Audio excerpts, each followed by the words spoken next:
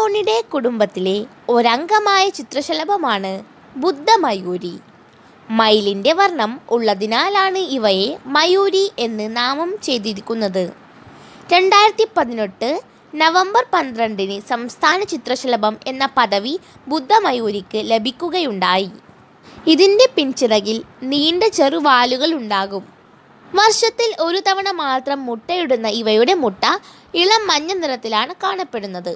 വന്യജീവി സംരക്ഷണ നിയമപ്രകാരം ഇതിനെ പിടിക്കുന്നത് കുറ്റകരമാണ്.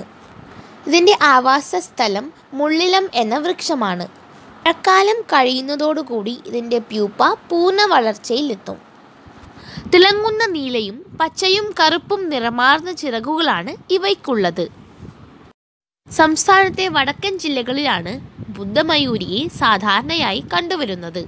ഇടനാടൻ ചെങ്കൽ കുന്നുകളിൽ കാണുന്ന മുള്ളിലവാണ് ലാർവ ഭക്ഷണ സസ്യം ചെങ്കൽ കുന്നുകളുടെ നാശം ബുദ്ധമയൂരിയുടെ എണ്ണത്തിൽ കുറവ് വരുത്തി.